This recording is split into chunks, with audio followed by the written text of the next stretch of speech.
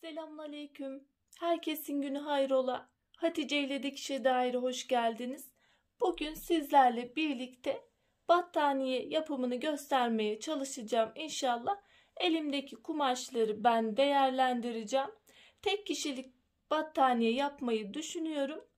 Elimde benim kadife kumaşım ve arkası için pamuklu nevresimlik bir kumaşım var. Onları değerlendirmiş olacağım. Ama sizin elinizde Velsof yani peluş kumaşınız varsa onu da değerlendirebilirsiniz. Çok daha da güzel olacaktır. Benim kumaşım yeterli gelmiyor.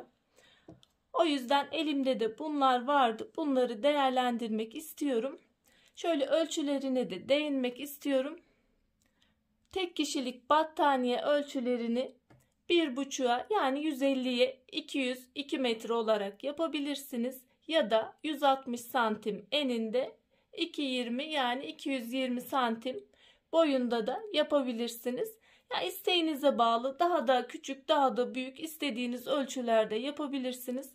Ortalama ölçülerimiz bu şekilde. Çalışmaya başlamadan önce kanalıma ücretsiz bir şekilde abone olup yandaki zili de aktif hale getirirseniz yüklediğim tüm videolardan haberdar olabilirsiniz. Ayrıca bizi Instagram'dan Hatice ile hesabından da takip edebilirsiniz. Oradan da isteklerinizi ulaştırabilirsiniz. Ayrıca videolarımı da beğenerek bana da destekte bulunabilirsiniz. Şimdi çalışmamıza başlayalım. Şöyle ilk önce ben nevresimlik pamuklu kumaşımın düz yüzünü üst kısma gelecek şekilde serdim, yerleştirdim. Alanımız çok müsait olmadığı için bu kadarıyla gösterebileceğim. Sonra kadife kumaşımı da yerleştireceğim. Bunun da düz yüzü pamuklu kumaşa bakacak şekilde yani yüzü yüzüne bakacak şekilde yerleştireceğiz. Kumaşımı yüzü yüzüne gelecek şekilde yerleştirip iğneledim. Benim pamuklu kumaşımda fazlalık kısmım vardı. O kısmı çıkaracağım.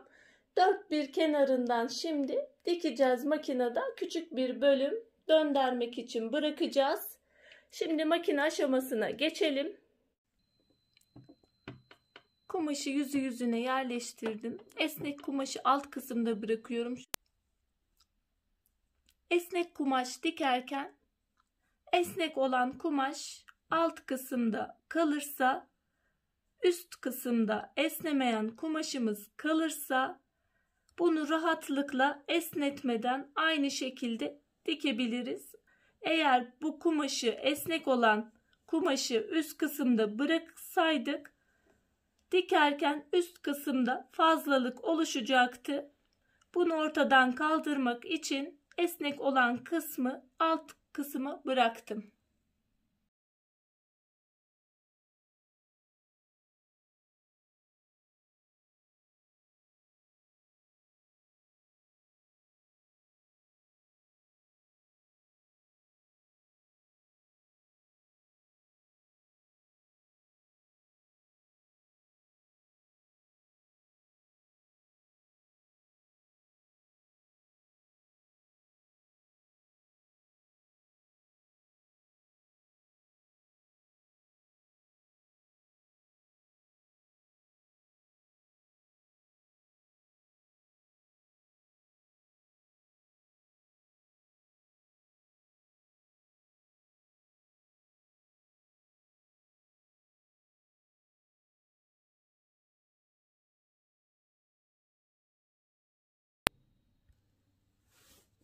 Şöyle dikişlerimizi şöyle açtırarak ütüde ütüleyelim.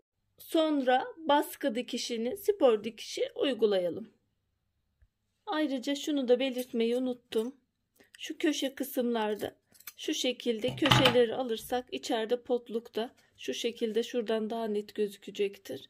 Şu şekilde köşeleri de alırsak içeride dış çevirdiğimizde potluk oluşturmayacaktır.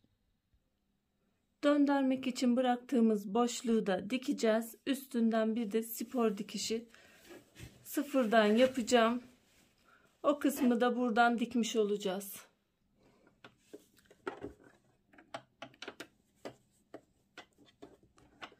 Makinama yerleştiriyorum. Sıfırdan dikeceğim. Bu sıfıra yakın dikişi yapamıyorsanız gizli dikiş ayağını kullanarak da yapabilirsiniz. Hatta bu videoda onu da göstereyim.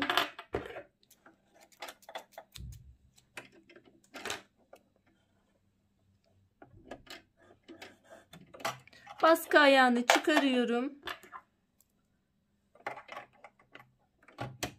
Gizli dikiş ayağını yerleştirdim.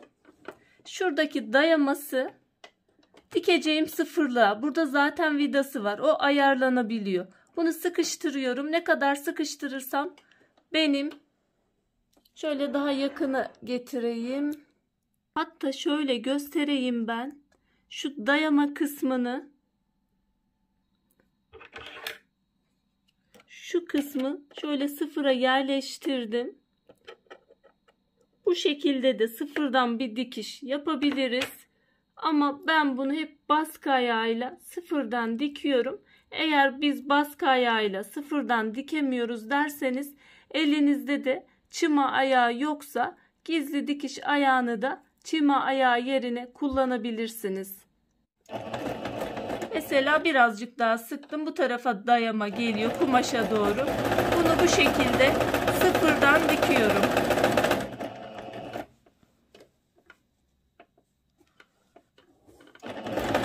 Şöyle gösteriyorum. Sıfırdan diktim. Çok da net gözüküyor. Ben şimdi bunu baskı ayağıyla da aynı işlemi yapacağım. Gizli dikiş ayağımı çıkardım. Baskı ayağımı yerleştiriyorum. Aynı şekilde sıfırdan dikeceğim. Burada zaten kapanacak bölüm.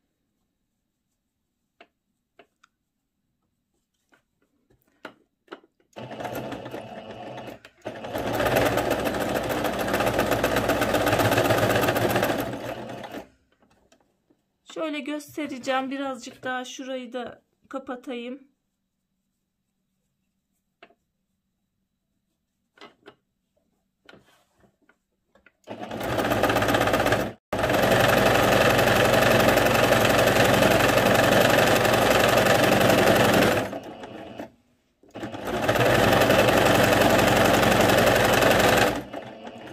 Şöyle makina normal baskı ayağıyla da yaptım. O da sıfırdan aynı şekilde diktim. Baskı ayağıyla dikiyorum. Dört bir kenarını bu şekilde spor dikişini, baskı dikişini uygulayacağım.